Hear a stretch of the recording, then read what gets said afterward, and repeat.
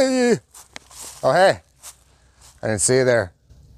It's Tim from Hilltop Packs. Let's talk a little bit about shoulder accessories. And one of those is a water bottle holder. Uh, Hilltop's design is really quite simple. It hooks to your daisy chains on your backpack shoulder strap using some S-clips, and then it has a full-length vel Velcro so you can adjust it uh, depending on the you know distance between your daisy chains. Uh, so it's really handy design and it's real simple. It has some shock cord on top, goes over the top of your water bottle. I'll show you a close-up.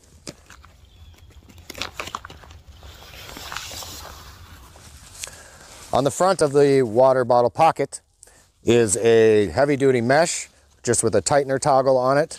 And I usually put snacks in here, chapstick, and that's just a handy feature for the front of the water bottle pocket. Simple, easy design, the water bottle pocket. Simple.